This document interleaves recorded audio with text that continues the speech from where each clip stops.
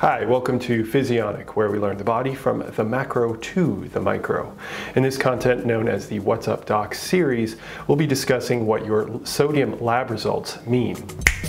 Learn Your Body, a science based education. If you want to know more about your lab results, I release content describing the science of every lab result right here. So, what does your sodium result mean?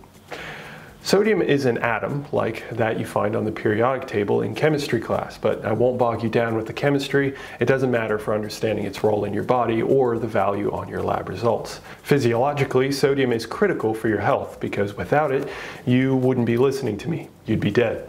sodium in the body helps retain water, which is certainly wanted because the body needs water to move molecules between tissues in our bloodstream, as well as within our cells.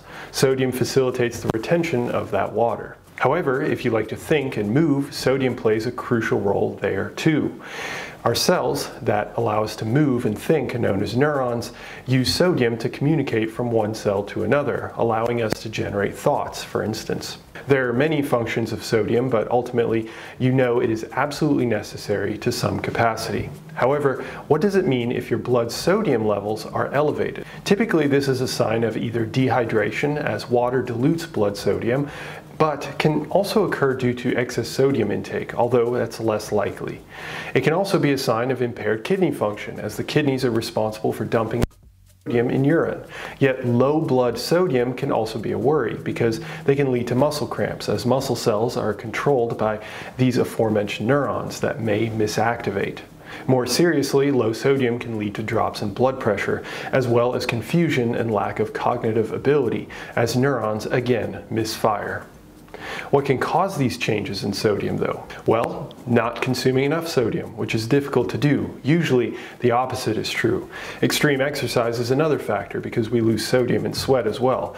This is why we have sports drinks containing different atoms like sodium, but rest assured a 30 minute run is laughable for your body. It will have no effect. We're talking a marathon or more. Of course, kidney problems like cystic kidney disease as well as any number of drugs, especially blood pressure related drugs, all these factors and more can impact your blood sodium levels. Fortunately, in most of these cases, there are easy fixes. With that, I hope you feel more informed on what your blood test is telling your doctor and now you. And if you're interested in more of these different lab values, check out the rest of the series. And I hope to have the pleasure of speaking with you in the near future. Until then,